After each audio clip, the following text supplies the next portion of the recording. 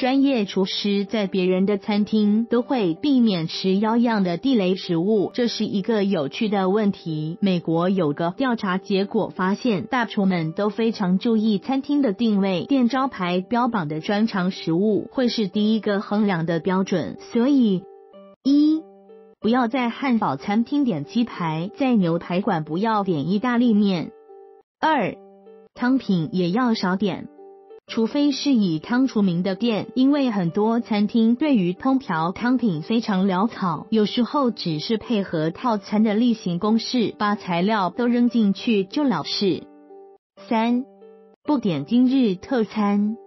纽约名厨也是电视节目主持人安东尼·波登 （Anthony Bourdain） 不点今日特餐 （Today is special），因为将心比心，他猜测同行所用的食材绝对是厨房进货量最大且已经放最久的，应该不新鲜。四不点今日例汤。今日利康 Today is soup 如何？有人认为那根本就是昨天剩下的食材的再利用，新鲜度存疑。五不点沙拉，因为曾经看到别家餐厅的厨师没有戴卫生手套，就在沙拉餐盘里捏捏摆摆。六不点鸡肉，因为你在自己家里就会做的菜，为何去餐厅吃呢？七。不点本店特色酒。如果你喝过店家推荐的本店特色酒 House Wine，那就心里有底了。可能店家把店里库存已经很久、品质最差的酒卖给你，或者贪心，酒商给的折扣，不管合不合菜色，还卖给你，多少说明了一个餐厅的风格。八，不喝桶装啤酒。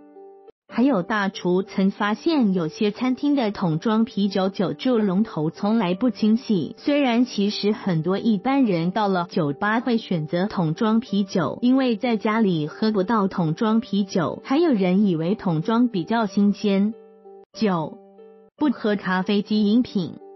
连带的大厨的观察还是提醒了我们，不清洁的咖啡机与蒸牛奶的锅具的店应列为拒绝往来户。十。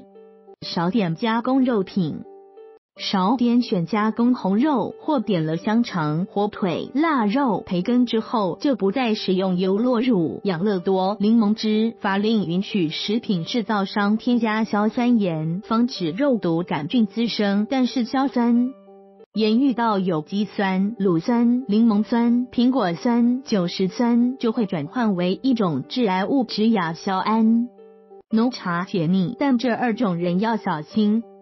平常蛋白质摄取不够的人，避免吃了高脂肪的肉排就立刻喝浓茶解腻，因为茶叶的鞣酸会与肉类的蛋白质结合，让人类的肠子蠕动变慢。鞣酸会让人体蛋白质吸收力变差。素食者要小心，浓茶的单宁会与植物中的非血基质铁结合，进一步阻碍人体吸收铁质。